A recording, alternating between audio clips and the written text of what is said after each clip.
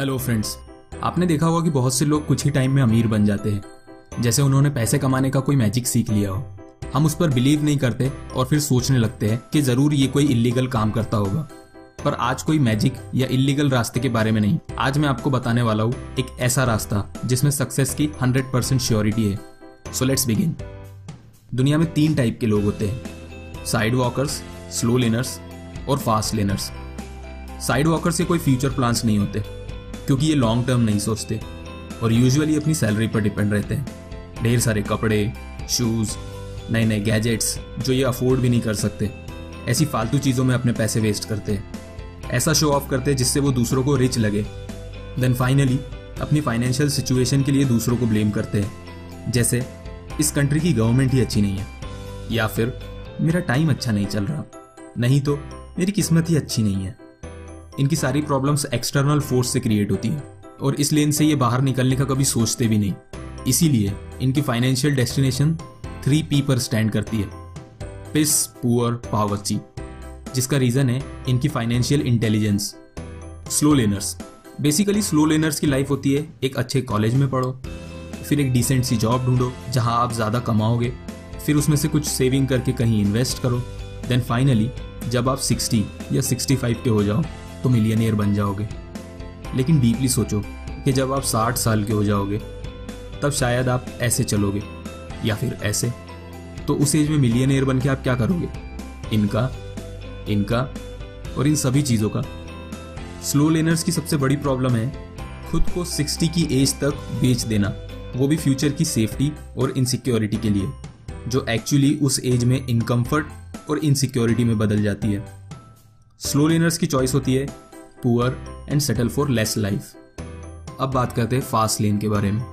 Fast lane एक shortcut के जैसा है। हो सकता है ये आपको ओवरनाइट अमीर बना दे। इसीलिए इसे ध्यान से समझने की कोशिश करो। इसकी सबसे इंपॉर्टेंट प्रोसेस है लोगों की नीड्स पूरी करो। इसका मतलब मैं ये नहीं कह रहा कि आप एनजीओ ज्वाइन कर लो और लोगों की हेल्प करो।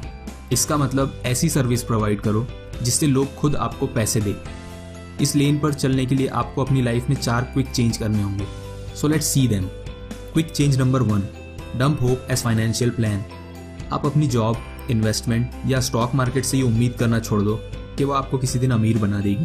क्योंकि रिटायरमेंट के बाद जब आपकी एज सिक्सटी प्लस हो जाएगी, तब वो पैसे आपके किसी काम के नहीं होंगे। Make time your ally not enemy अपने टाइम का सही यूटिलाइजेशन करो। उसे थोड़े से पैसे कमाने में वेस्ट मत करो, क्योंकि आपके वो थोड़े से पैसे और ढेर सारा सामान आपको सेटिस्फाई तो कर सकता है, पर कभी अमीर नहीं बना सकता। मिलियनियर्स अपने टाइम का यूटिलाइजेशन टेंजिबल वैल्यू क्रिएट करने में स्पेंड करते हैं। मतलब ऐसी चीज़ें बनाने में जो उनके एब्सेंस में भी उनका बैंक बैलेंस बढ़ाती रहती है। फॉर एग्ज़ाम्पल बुक लिखना पॉडकास्ट रिकॉर्ड करना इंटरनेट वेबसाइट बनाना म्यूज़िक एल्बम बनाना एक्सेट्रा ये चीज़ें ट्वेंटी फोर सेवन काम करती है, वो भी बिना उनकी प्रेजेंस के। Quick change number three quit chasing money start chasing needs ज़्यादातर बिज़नेस के फेल होने का रीजन है उनकी सेल्फिशनेस जो बिज़नेस सिर्फ़ अपने प्रॉफिट के बारे में सोचते हैं, वो कभी सक्सेसफुल नहीं हो पाते. वो ये नहीं समझ पाते कि मार्केट को उनकी पर्सनल लाइफ से कोई फ़र्क नहीं पड़ता. No one cares about your Ferrari और विला ड्रीम्स और जो बिज़नेस लोगों की नीड्स पूरी करते हैं, वो सक्सेसफुल ज़रूर होते हैं. फॉर एग्ज़ाम्पल अगर मैं एक शॉपकीपर हूँ और आप मुझसे कोई सामान खरीद कर ले जाते हो लेकिन आपको पता चलता है कि मैंने वेट करते समय आपको चीट किया है। तो क्या आप नेक्स्ट टाइम मेरे पास आओगे? डेफिनेटली नॉट आप वही जाओगे जहाँ आपको सेटिस्फेक्शन मिलता है। आप जो प्रोडक्ट खरीद रहे हो, वो आपके स्पेंड किए हुए पैसे के वर्थ हो।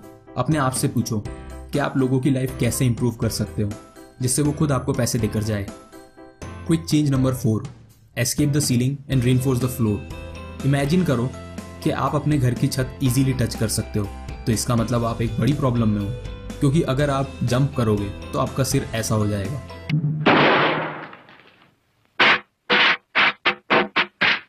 इसीलिए, आप जो काम कर रहे हो, उसे अच्छे से समझो कि आप उससे कितना पैसा कमा सकते हो।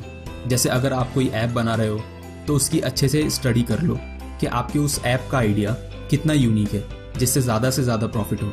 आफ्टर ऑल वो अकेली चीज़ आपकी लाइफ चेंज कर सकती है। और हो सकता है कि इसके बाद आपको कभी काम करने की ज़रूरत भी ना पड़े। रेनफोर्स द फ्लोर का मतलब है, हमेशा अपने पास एक बैकअप प्लान तैयार रखो, क्योंकि आपका बिज़नेस किसी के सिर्फ़ एक डिसीज़न से ही खत्म हो सकता है। इसीलिए, जिस फर्श पर खड़े हो, उसे परख लो कि कहीं वो कमज़ोर तो नहीं।